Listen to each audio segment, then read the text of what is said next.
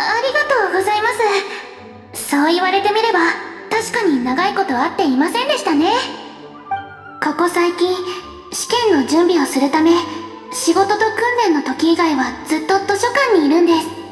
もうすぐ試験なのですが復習しなければいけないものがたくさんありまして。ははい。セピロス騎士団の選抜試験です。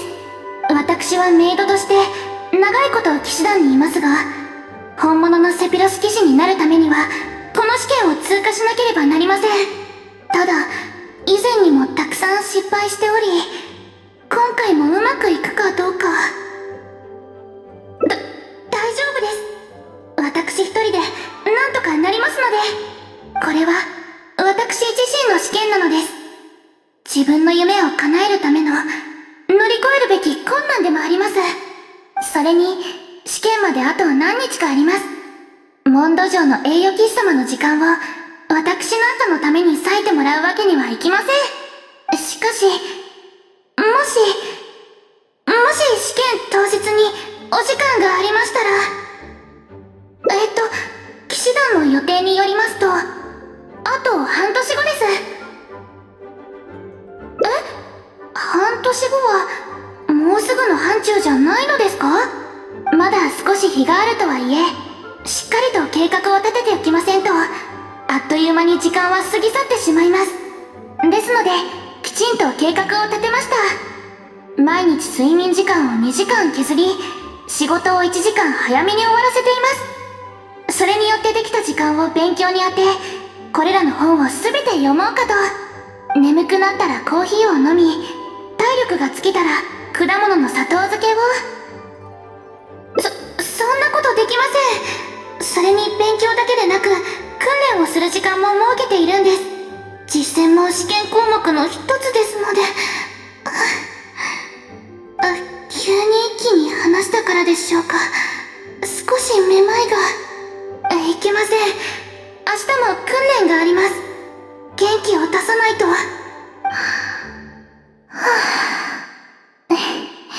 すみませんお見苦しいところをお見せしてしまいましたもう大丈夫ですはい。しかし試験のことを考えると、心が落ち着かないのです。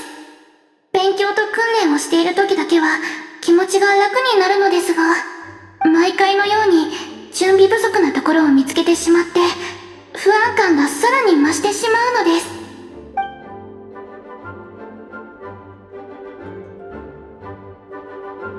えっと、それは、勉強だけにとらわれてはいけないということでしょうか？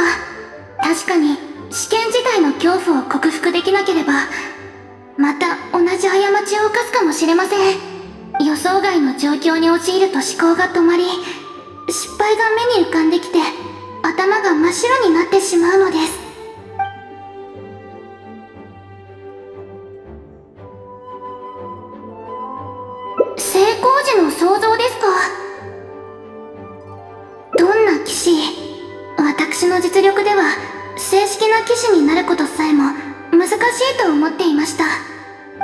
騎士は私にとってまだまだ遠い存在と言えます。偵察騎士ですか？そうなれば偵察騎士が増えたことでアンバー様はお喜びになるでしょう。しかし私は偵察とおとり役が苦手で身のこなしもアンバー様のように軽くはありません。お役に立てるかどうか。あそういえばアンバー様からウサギ伯爵の作り方を教わったことがあります。ウサギ伯爵をおとりに敵を誘って仲間を守る。私でもできるかもしれません。はい。以前アンバー様に教わった時に使った材料が残っています。あとは追加でいくつか準備すれば中身に使用するのは炎スライムの液体です。敵を引きつけるために使用する赤の染料はバルベリーを粉々にして作ります。ただバルベリーは乾いた状態ですとあまり色づきが良くありません。暴風産地で新鮮なものを取ってくる必要があります今から暴風産地までお付き合いいただけないでしょうか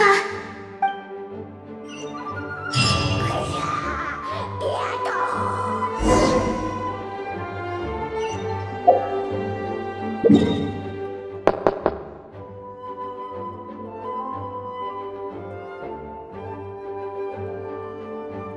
ん。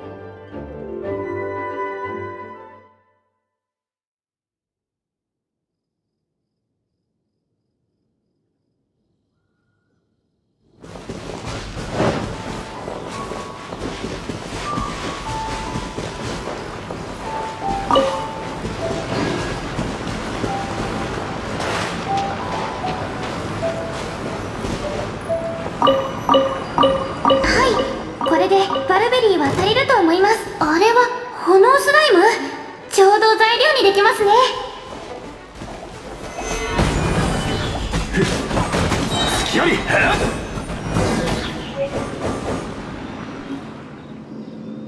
炎スライムの液体。それと粉々にしたバルベリー。これでウサギ伯爵を作れます。これを通して最後に縫い目を隠してできましたそそんなことはありませんただ見よう見まねで作ただけです。これが役に立つかは正直わかりません。近くにヒルチャールの拠点があります。ウサギ伯爵をそこに置いて効果があるか確かめてみましょう。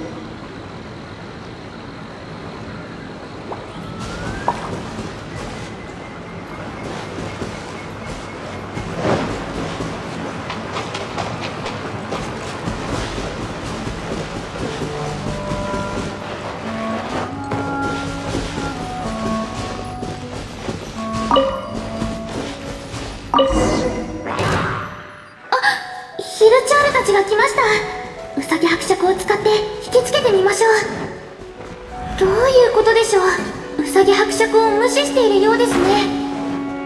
こっちに来ます。お気をつけください。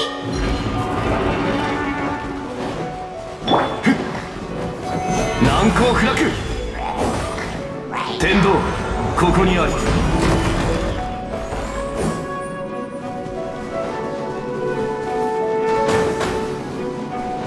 は甘い。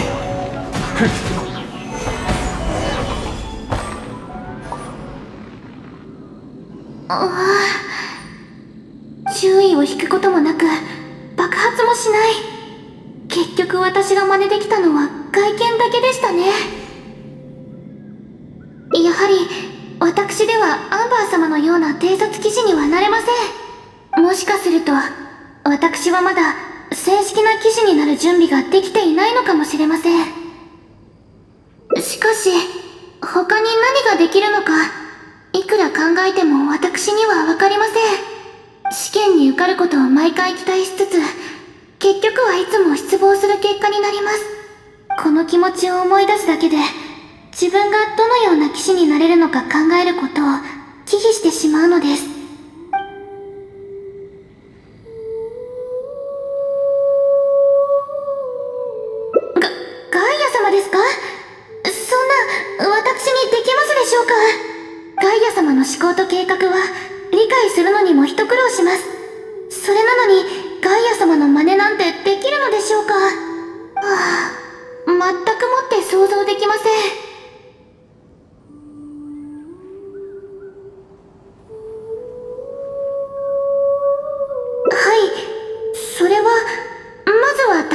標を決めてから一歩一歩着実に取り組んでいこうということでしょうか。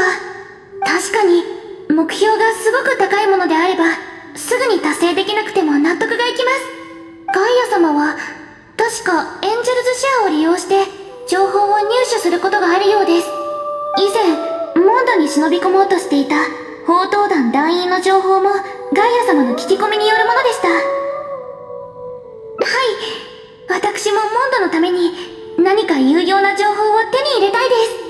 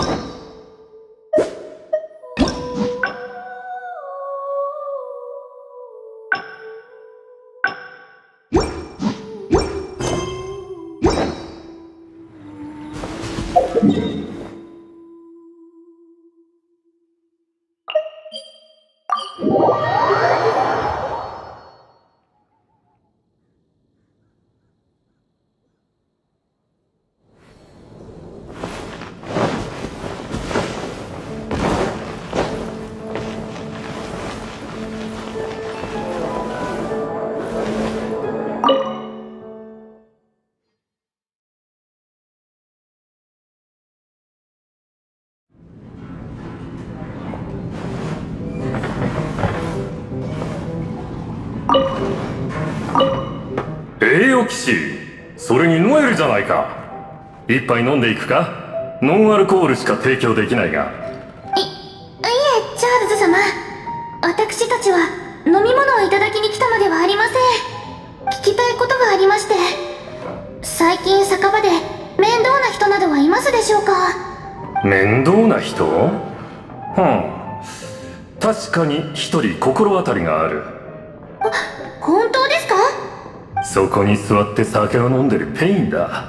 この店で一番強い酒の Death in the afternoon をずっとおかわりしてる。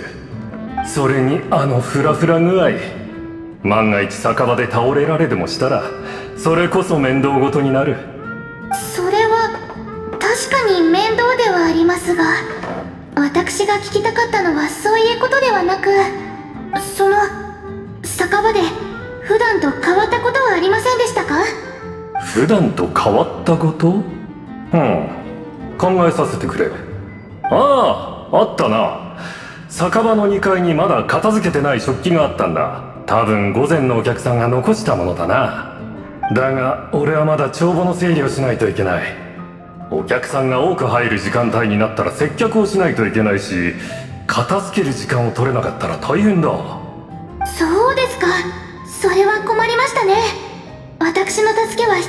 あすみません。無意識のうちに。チャールズ様私が聞きたかったことは。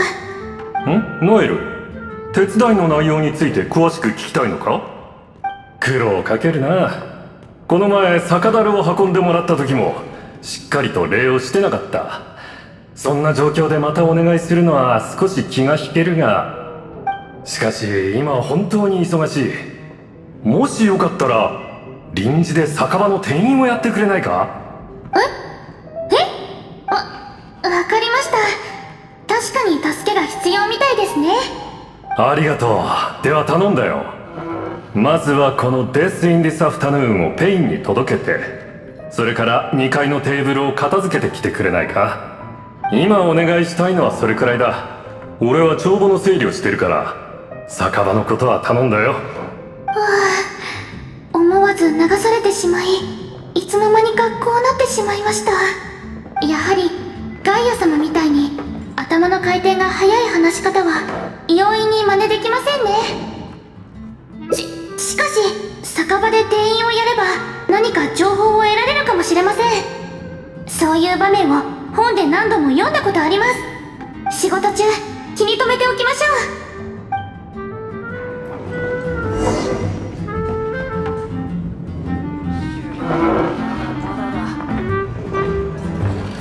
酒と冒険だ。ペイン様こちら注文なされたお酒です。なんだ？ああ置いといてくれ。少し休んでから飲む。この酒本当に強烈で。少し気持ち悪いな。ペイン様大丈夫ですか？もうお飲みになられない方がよろしいかと。えっとガイア様なら相手を酔わせてから情報を聞き出すと思います。た確かに方法を変えないといけません。ガイア様はこういった時親切な態度で相手の警戒心を下げると思います。相手の身になって助けるふりをして話をゆっくりと引き出す。今のペイン様を助けるにはどうすればいいのでしょう？そうです。私が試験のために準備していた果物の砂糖漬けですが酔いざましに使えないでしょうか？ペイン様これを食べれば少し楽になりますよ。これはなんだ？甘酸っぱい。うん。なんだか少し良くなったよ。君はノエル？それにそれは。ペイン様少し良くなりましたか？何か言いたいことはありますか？それは俺が注文した Death in the afternoon じゃないか。君が届けてくれたのか。ありがとうノエル。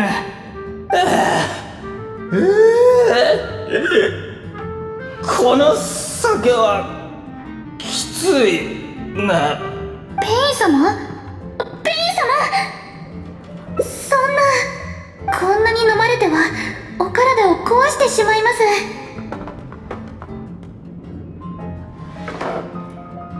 はい。お客様がもっと多ければこの方に聞くよりも簡単に情報を手に入れられてたかもしれませんね。そうだ。チャールズ様から2階のテーブルを片付けるようにもお願いされていました。2階が満席でしたら聞き耳を立てることで情報を聞けるはずです。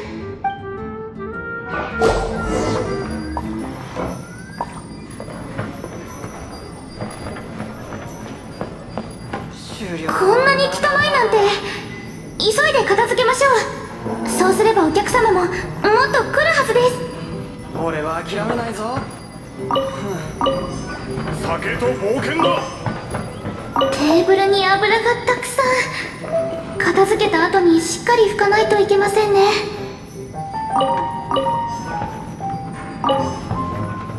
もうすぐ片付けが終わります。やはり綺麗になると気持ちも良くなりますね。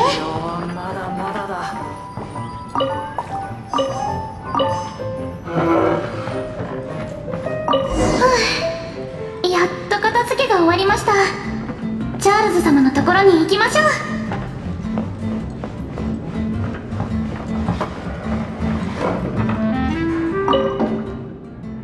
チャールズ様頼まれていたことは完了しました。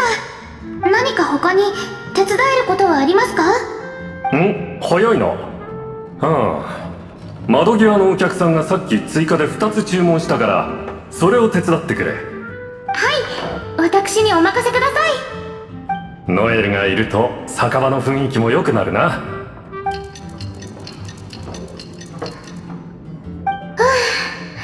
酒場の仕事は本当に大変ですね。しかしこれでやっと一段落しました。お疲れ様でした。えっと情報はいけません。仕事のことばかり考えて情報を集めることを忘れていました。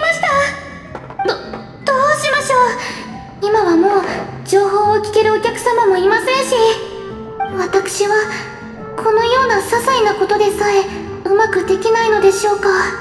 今日は本当に助かったよノエル。俺はここでバーテンダーを10年以上もやってるがお客さんたちがあんなに楽しそうにしてたのは初めて見た。ノエルの接客があったからこそ今宵の美女はより芳しいものとなったんだろそそんな私は大したことはしていません。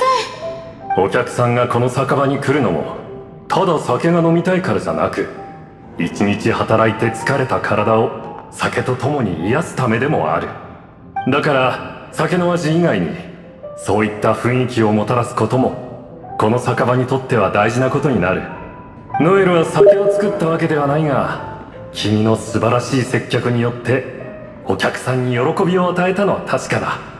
酒場にいるのがバーテンダー一人だけだとこうはならない。やはり接客する人がいないとな。そろそろディルック様に本格的にお願いして接客係を雇うか。何はともあれ今夜は本当に助かった。そそうですか。皆様に楽しんでいただけたのなら私も嬉しく思います。はい。ガイア様のようにはできませんでしたが。私もお役に立てましたでしょうか？は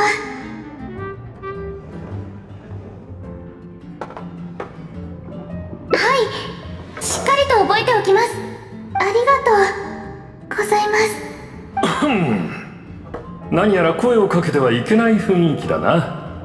しかしもう一つ手伝いをお願いできないか。酔って盛り上がるのはいいことだが酔いつぶれて酒場にいられると面倒だ。ああペインがこの夜追加で「Death in this afternoon」をもう2杯注文してな。俺は諦めないぞ。